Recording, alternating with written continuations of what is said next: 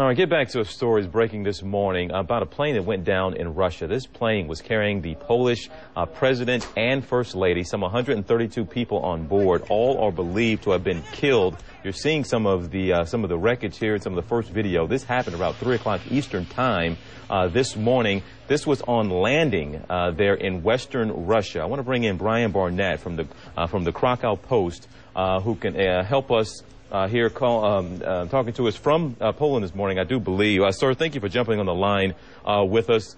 Uh, what more do we know about what possibly happened upon landing? There was some issue possibly that it had clipped some trees. Is that what you're hearing as well?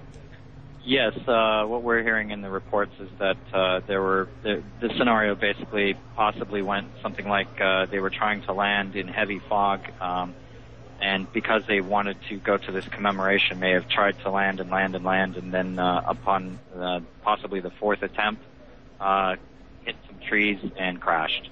And, and, Brian, give us more about who exactly was on board. We, again, we understand the president uh, was on board along with the first lady, but who else? We're talking about 132 people. We're told were on board.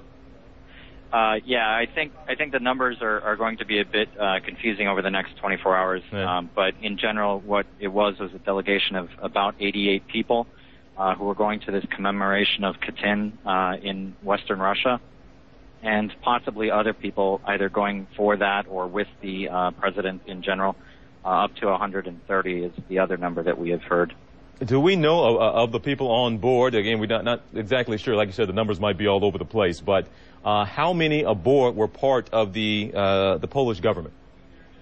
Uh, the Polish uh, government itself, actually, you mean like ministers and, and uh, people such as that? Ministers or any part of the any? how big was the Polish delegation? Are you telling well, me? The Polish delegation was about 88 people, and we believe that included a number of not only the president and his wife, but a number of ministers of aides, uh, one undersecretary, and uh, at least one, maybe more army generals, um, and so quite quite a large number of the uh, Polish uh, uh, presidential corps, I guess, well, well, people who would normally be in his offices and work with him.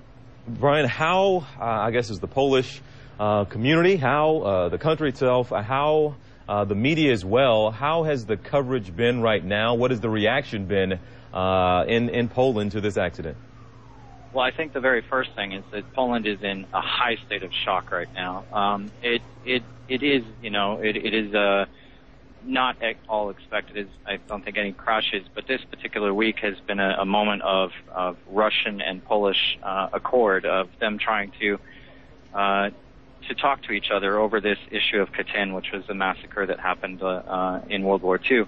And so this commemoration was highly, highly important. And for this to happen, I think for many Polish that I've already been speaking with today, it's almost as if it's resurrecting a, a, a painful memory in the past uh, via this crash. Uh, it's just, it's, it's unbelievable to be honest. It's really amazing. Brian Barnett, we appreciate you hopping on the phone here. Uh, Mike, uh, if we can, talk to you a little later as we continue to gather information uh, about this story. But thank you so much. And again, to our viewers, uh, the word is plane crash goes down. Plane goes down. Western uh, Russia today possibly clipped some trees trying to land, and aboard that plane was the president, President Kaczynski of uh, Poland, also his wife, and as we just heard from Brian Barnett, there several other, a number of members, possibly the Polish government, and just a huge Polish delegation, uh, but the investigation already underway. Let's take a turn now and uh, head.